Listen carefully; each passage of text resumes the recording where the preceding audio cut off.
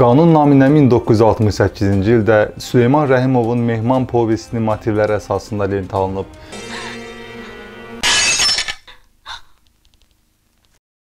Filmin ssenari müəllifi və rejissoru Muxtar Dadaşovdur.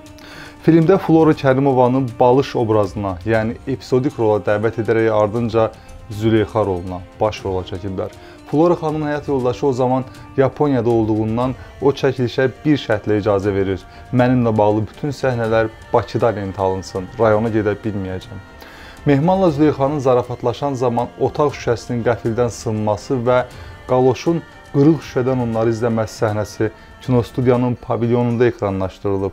Bu səhnədə Flora Kərimova filmdə oynadığını bilsə də qaloş rolunu oynayan Rıza Təhmasibin baxışlarından şoka düşür, bir neçə gün qorxunun təsirindən çıxa bilmir. Qızım mənəm. Qorxma. Bizim müsibətdən xəbərin oldu? Filmdə Mehman rolunu oynayan Bimbolat Vatayev ilə Balış obrazında çəkilən Janna Smelyanskaya real həyatda sevgili olublar.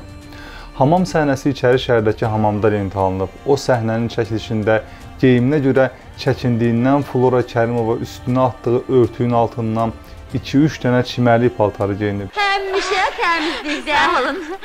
Zəhmət çəkməyin, zəhmət çəkməyin. Nə olsun? Nə zəhməti var? Boyuna bax, sinəyə bax. Hmm, mərmərdir.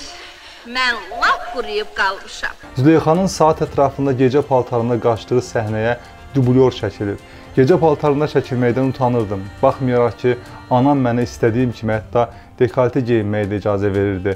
Mən kəskin şəkildə tamaşaçılar nə düşünər düşüncəsi ilə həmin səhnəyə çəkilməkdən imtina elədim. Amma o vaxt anlamadım ki, onsuz da ora kim çəkilsə də mən olduğumu düşünəcəklər.